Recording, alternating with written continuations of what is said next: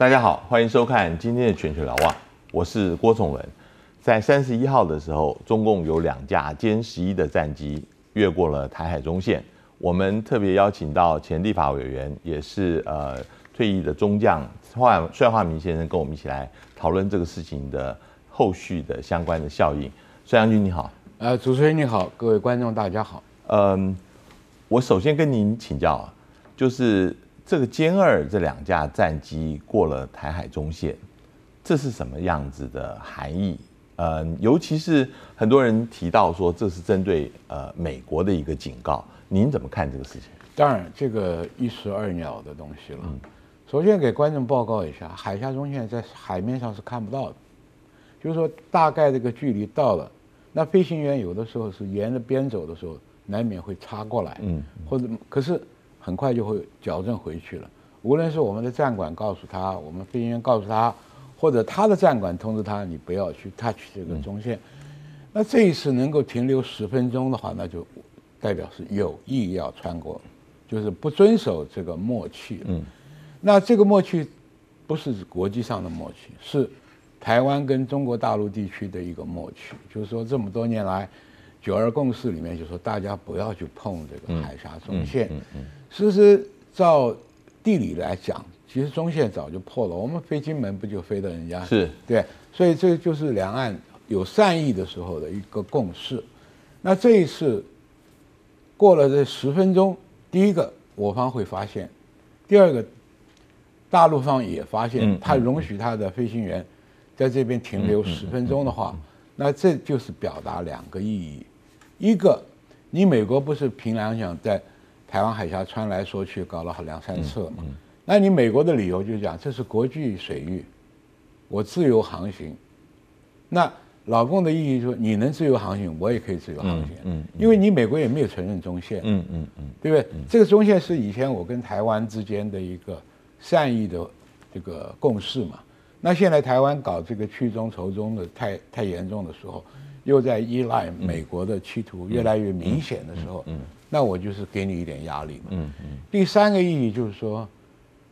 呃，虽然中国的这个习大大是一再主张是和平发展，在一中原则之下和平发展，但是大陆的鹰派对这个行为也不太满意。嗯，大陆的鹰派普遍的说，美中贸易造成大陆的经济下滑，嗯嗯，而且造成他很多企业倒闭。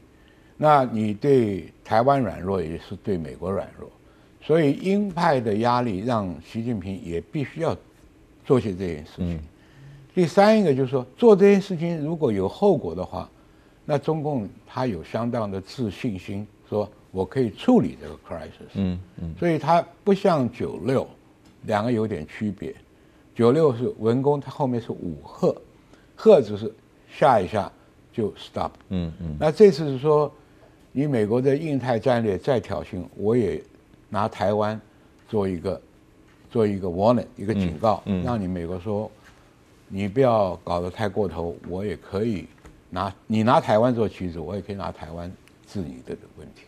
我的问题是，如果是这样子的话，呃，是不是有第一次就可能会有第二次？啊，我觉得不只是第二次，嗯，因为两岸发展的趋势，当然看岛内的变化，是，也看美中关系的变化，是，看他要不要用这个东西。所以，那目前照这个局势来看。美中贸易也不是那么快，嗯嗯，它可能一阶段、二阶段，嗯，也可能有恶化，像川普跟金大中两个拂袖而去的这种行为，嗯，对不对？所以老老共把这个美美中会谈往后延嘛，嗯，那这延里面，这里面还有一个就是最关键的技术，就美国开出来这么多条件，美国在怀疑你执行有没有能力，就说你什么开放了、技术管制了。那中共的国营企业能不能放手？嗯，这是习中国大陆的红红线。你把我国营企业搞掉，没搞到。所以这个中美贸易战争不会短期结束。那台湾的政治形势如果说不政党轮替的话，那反中仇中一直到全面台独就可能形成。所以他必须在这五号上面要加码。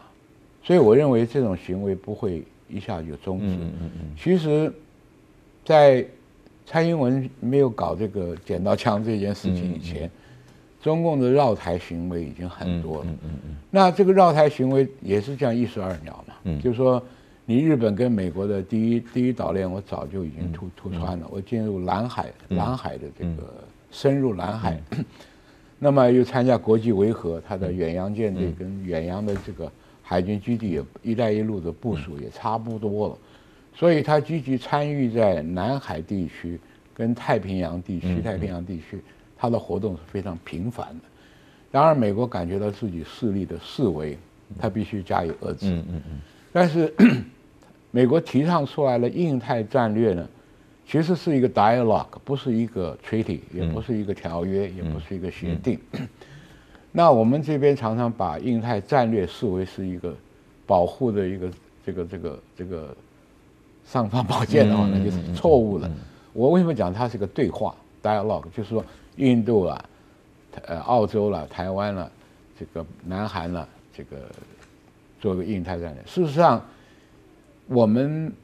的海空实力跟南海远远不可企及了，我们顶多在台湾海峡周边。嗯，那呃，印尼了、澳澳洲了都不形成战力。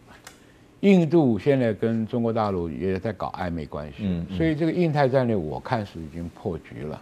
第二个，我看印太战略的实力来讲，第七舰队在呃太平洋里面算是负责这一块的。那美国的这个 SINPAC 就太平洋总部总司令，他已经感觉到他的管区太大，太平洋一直管到印度洋。嗯，那他的舰队不够，就把美国大西洋舰队的船拨进来。那即使是拨进来，在这么广大的一个海域，从印度洋一直到东海，那他想应付这个问题都有问题。嗯。所以，川普要下令要要建造航母，嗯，但是航母做出来起码五年到十年才能够真正服役，所以印太战略我也讲是一个政治上的一个一个一个一个操作的手法，嗯嗯，实际的效应并不大。那台湾不要去期望印太战略能带给我们什么安全保障，这点我可以讲绝对没有了。我我我想问是啊。嗯，之前我们看到的是所谓绕岛了哈，绕岛，很多人讲说，与其说是对台湾，还不如说是对一个区域，尤其是对于比如说像关岛那边的威慑的作用。那现在是过海峡中线，这就是直接针对台湾了，对我们的战略的威吓的意义又更大、更直接了。因为我讲嘛，中线是两岸的默契嘛，嗯，一个共识嘛，嗯。那既然你你台湾说不承认九二共识，你打破了九二共识，那他觉得他有必要遵守这个共识嘛？嗯，因为不去过中线，你好像其实前面的绕道已经是很大的威胁作用了。嗯嗯嗯。你像以前共军从来没到我们台东外侧的海域去走，这个横山基地那边去照相，对，呃，把玉山的照片拍给你台湾老百姓看，其实那个对我们军懂军事人讲，那就是威胁了。嗯嗯嗯。那海峡中线，因为媒体常常把这个东西提成变成一个指标性的，嗯嗯，这个两岸的一个 landmark，就是说不要去碰的。那现在他碰了，碰了就是告诉你，我可以威胁到你，嗯，因为它是南北向的这个这个中线那个跨越，跟直对的那是完全不一样。第二一个，老百姓可能没注意到另外一个新闻消息。就是说，我们也派出飞机去并航的时候，是大陆沿海的很多机场，白云机场是是是关闭，这代表什么意思？因为它的民用机场常常跟军用机场是合并的跑道，那民用机场停停飞了，空域管制了，就是说它后面的战机，大批的战机随时可以起来。如果说台湾的飞机跟并航的时候发生擦枪走火，打起来的时候。你看，我们我们是用 IDF 上去，对，后面又叫了四架 F 十六上去，嗯，你上去，老公也就上去了。这个，因为大海茫茫，老百姓是看不见的。我们在雷达战情史里面是很清楚。哎，我我我我我请教一下，就是现在的报道是这样的，就是说他们两架歼十一过了中线，对。我们这边就是已经在巡航的 IDF 就过去拦，嗯。然后我们这有四架的 F 十六16就上来，对。他们那边又有两架上对，来，所以这就是我刚刚讲的嘛，因为雷达上面，你飞机一离开地面，我就可以看到了。飞机的速度，我虽然看的是一个光影，看你的速度就知道是战机还是民航机。对所以这个很清楚，就是说你加码我就加码，谁都不愿意在擦枪走火里面丢了面子。嗯，那问题，蔡英文的讲话就我觉得蔡英文现在是说他是以三军统帅的身份说要第一时间强势驱离，这个是什么意思？这个我就讲军方就无所适从了哈。第一个，歼十一战机的基本性能比我的经过还好。第一个，它滞空时间很长，它作战半径是一千六百公里，嗯嗯。我们这这不到一千。那换句话说，它在天上停留两三个钟头是没问题的，我们不能停留那么久，这第一个。第二个，飞机的结构比我新，就像老车新车一样，它可以承受比较大的压力，做嗯更多的回转活动。第三个，它的飞弹，这个空中作战呢，大家都受以前高志航的那种 dogfight 二次大战、一次大战那个摇尾巴那种开机关枪，事实上不是，因为现代武器竞争，美军有一个 slogan，有一个标呃呃这个标准的一个原则，他说 What I can see, what I can hit, 嗯。and what what I can destroy，什么意思？只要我看得到我的视距，我的雷达收缩视距看得到你，我的飞弹就要能打到你，打到你就要能够摧毁你。好，空军比作战战略优势的时候，第一个，你的搜索雷达对逆中的飞机看不看得见，这是未来的啊。嗯嗯第二个就是我距离，我近视眼，我只能看你一百码，嗯嗯嗯我眼睛正常，我看六百码，那我就就可就可以先下手了。第二个就是武器里面讲 stand off，他们叫什么叫 stand off 呢？你把匕首，我就拿一把武士刀；你拿把武士刀，我就拿把扫刀。我比你长，所以我先打了 hit and run，打完我就走了。你你你就没有没有办法反抗的余地。所以拿金国号跟歼十一来讲，说你没有办法达成小英的所谓强势驱离。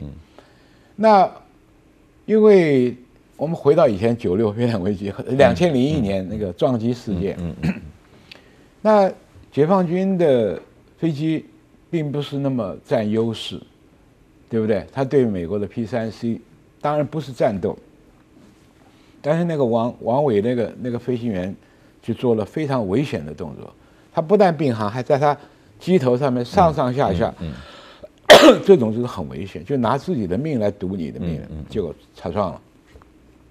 那我们回过头来，小英讲，你强势驱离，我们拿什么东西强势？我想唯一的办法，第一个，呃，用通话告诉对方飞行员你过界了，这个不算强势驱离。嗯强势驱离的最起码的动作，就是把我的飞弹打开，锁定你的飞机。对这这个是一个还是一个强势的 warning 警告。那强势驱离就是说你，一个是逼近你，第二个我就开火，或者对空中就像警察一样对空鸣枪。但是啊，如果你把那个射控雷达一打开啊，对对方一定也知道。知道，那对方如果是为了自卫，他也打开，这就是擦枪走火的这个最容易发生的一件问题。当年美国问我的时候，你们有没有控制？我说有，因为是要靠战管，因为飞行员啊，你要你要站在飞行员的立场，你在开飞机，敌人的雷达一旦锁定你，对。你的那警报器就响了，叭叭叭叭叭，这个时候你心跳、肾上素对都上来对，对，你只有两个决定，一个是我反击，嗯。闪避而且反击，一个就是赶快离开跑走嗯。跑走。那这个下决心的时间顶多只有八秒钟。嗯，为什么？从人家的击飞弹打出来，击中你八到十六秒钟，就把你、你你的你的性命就完结了。嗯嗯嗯，我记得，我想到以前我一个经验哈，那个时候也是两岸很很很紧张的时候，那时候空军作战司令，我把他名字姑且嗯。啊 不讲，他比较个性软弱，那时候我就给参谋总长罗本利建议，我说你派一个嗯。强悍的副总长嗯。进驻到空军作战司令部。他说总长是问我为什么？我说飞机发生并航的时候是空作部直接要掌握的。嗯，你这个空作司令是打还是 run 是跑？你要下决心。嗯嗯嗯。而这个司令，我的对他的认知是比较犹豫认。嗯嗯嗯。我说你不派参本部下去一个副总长，代表我支持你的做法。嗯第二个也帮你下了。嗯。back up 你的决心。结果那副组长是我好朋友，还把我臭骂一顿，你搞得我去住了一个月。所以，所以这个问题啊，擦枪走火从雷达一打开就开始了，这危机就产生了。所以这个时候没有强烈的战管，嗯，你是很难控制这个场面。好，另外一个可能，当然有人讲说，从地面的防空飞弹啊，对，来来打开，你空飞行员你不要动，我下面来做。呃，其实下面来做，呃，我们就比较一下好了，呃，跟当年就不一样，当年我们的地面防空火力算是强的，嗯嗯嗯。那现在，自从中共引进苏联的 S 三百，一直到 S 四百，嗯嗯，这两个防空飞弹现在是全世界里面算是顶尖的。嗯，第一个它射程长，射程长，三百公里到四百公里。S 四百可以到我们东部啊，对不对嘛？问题 问题是我们忧虑的就是说，真要打起来了，话，飞机都起不来。对，你一离地，它的它的射程就可以到达，还不用航母，又平坦呢。嗯，不见沿海，它就可以打。那呃，任何一个先进武器啊，都要在战场上有 show off，你能够表达才证明你的实力，不是那个军火商吹牛讲什么东西就是代表你的实力。S 三百在中东的战场上已经看到它的威力了，所以美国在北韩要部署萨德，嗯嗯嗯，也是双方的较劲之一。那我。姑且不论我们的防空飞弹虽然也很强，但是 S 三百一出来的时候，你拿飞弹对飞弹的话，像大家说我们也有飞弹对飞弹呢，是爱国者，可是爱国者的距离很短，嗯，爱国者是像子弹打子弹一样的精度啊，它只能维持三点五公里的高度啊，这个是它有效射程，就好像我眼睛上面的睫毛，蚊子飞过来的时候，眼睛抖一下它就走了。但是你，我们的空军基地从南到北起飞作战的飞机，你要哪有多少爱国者飞弹能够，也不也不能带上天嘛，所以用地面飞弹解决空中危机的可能性不大。嗯，如果是你这样动员，那是全面开战的味道。那我另外再问，那不是危机了，嗯，那就是说我对你宣战了。如果说现在不用飞机上的飞弹的射控雷达，好。呃，我们有一些飞机是性能比较强的 F 十六啊，比如说我们试驾 F 十六上去，如果 IDF 不行的话，上去用在它前面干扰它的行进方向，或者是用某个方式逼它改变它的方向，但是这个东西就很危险了。这个基本上，我想我们的空军的准则里面不可能要你去。拼着撞击的危险去跟人家逼近了，这个这个这个讲良心话，这种是所谓一时冲动的哈。是大概大概作战准则里面不会这样的，嗯，就是说叫比态势了，就是说你两架我四架，嗯，四架后面的地面待命飞机要起来，对啊，那就那就是肌肉展示了，但是这个问题肌肉展示你有他也有啊，对，没错，展示的越凶。如果不能够克制你的国安团队，国安国安团队不能够及时宣达总统的指令，任由军地军种在做这种东西，就是危险。你看所有好莱坞电影里面，美国的总统对他的军事领袖都是压得很凶，对，为什么？一旦爆发起来，就就没办法遏制了，这是一个恶性循环，暴力是无限升高。比如说我打你一巴掌，你就还我一拳，你还我一拳，我可能全身就上来。所以，战争擦枪走火是个很危险的事情，那是不是个理性的行为？你打掉我一架，我我就上来两架，这是军人的一个自然反应嘛。那政治的力量，这个时候我觉得蔡英文不应该讲这个话，嗯你应该呼吁两岸和平上面去解决这个问题，嗯不要恐吓台湾老百姓。嗯你结果如果强制驱离，我很怕人家对方来问，好，你如何强制？嗯嗯嗯我我我平常讲，我以当年处理九六飞弹的危机的经验呢、我们能够强制驱离的手段太有限了，嗯甚至已经显示不出强力啊！嗯嗯嗯嗯你怎么强力？呃，现在台湾是把 F 十六看成是最好的机种，但是观众知不知道，我们的 F 十六当初买，我在立法院就非常反对买 A、B。F 十六两种两代，一个是 A、B 型，一个 C、D 型。A、B 型已经工厂停产了，当初卖给我们是 A、B。我们那个时候在国会也要求你要卖就卖 C、D，为什么要卖 C、D 呢？因为 C、D 欧洲很多国家还在用。嗯嗯嗯那就好像你们汽车，Toyota 的零件很便宜，因为它大家的都在用。你买那个玛莎拉蒂的车子，零件就很贵。那那个时候他不卖，美国这个商人太厉害了，把他这个淘汰的飞机卖给我。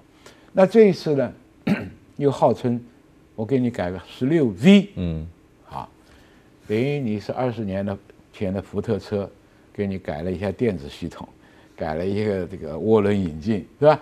它 V 是什么东西呢？Version 就是搜索雷达给你加长，啊，这个站管的方式有所改良，飞弹的这个 payload 有点改良，其他基本的推力、飞机的骨架、飞机的性能还是不不行的。嗯所以基本上，呃，讲起来很泄气，就是美国对台湾的援助常常是口惠而实不至。那为什么我们不要这个东西呢？因为台湾从南到北这七八个机场，跑道一旦被人家的飞弹打碎掉以后，你用快干水泥、用钢席去铺，没有四个小时是不能再起飞的。所以它每四个小时来一发，我的飞机就没有办法起降，就算起来了回不来。所以我们那个时候强调要买 F 三十五，三十五跟直升机一样的，它可以短跑道就起来。那你这个跑道不解决，我的空军只能打第一仗，就起来了。嗯我讲就像神风一样啊，就是说起来我不打算回来了，或者起来我跑到日本去降落去。嗯那只有这个办法了。所以这个，呃，中共的飞弹导弹的精度，它到五米之内，就是误差反正五米之内，长程、短程、中程，都造成我们机场很大的威胁。所以这一点呢，空军，呃，要达成蔡英文的强制驱离的话，risky 很风险很大。我们下一段我们就继续来请教呃孙杨军，就是在九六年台海危机，因为现在越来越多人在担心，呃，如果大陆还会有第二次、第三次过海峡中线的话，这个引发的一连串的反应，会不会到最后呃有类似九六年台海危机的一个相关的情况？我们等下回来继续谈。